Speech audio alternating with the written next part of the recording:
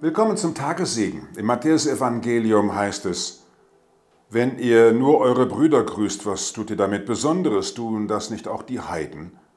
Seid also vollkommen, wie euer himmlischer Vater vollkommen ist. Da haben wir es wieder, ich hatte es schon letztens gesagt, die Bergpredigt möchte nicht neue Vorschriften geben, sondern die Frage stellen, hast du den Standpunkt der Selbstsucht verlassen? Guckst du also nicht mehr in die Welt, was nützt mir, was habe ich davon, sondern wie sieht Gott die Welt? Wie ist sie eingerichtet? Was möchte die Welt mir sagen?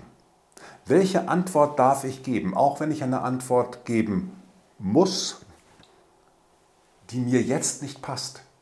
Weil ich merke in Beziehung zu anderen und zu Entwicklungen, wenn ich da nicht aus Angst reagiere, dann kann ich hinhören. Die Kirche nennt das auf die Zeichen der Zeit hören.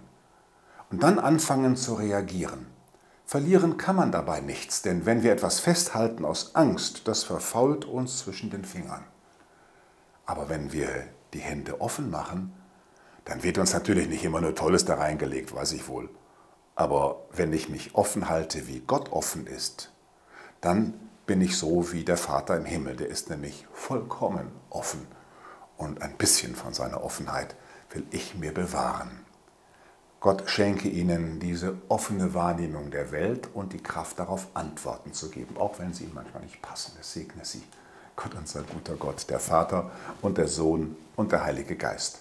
Amen.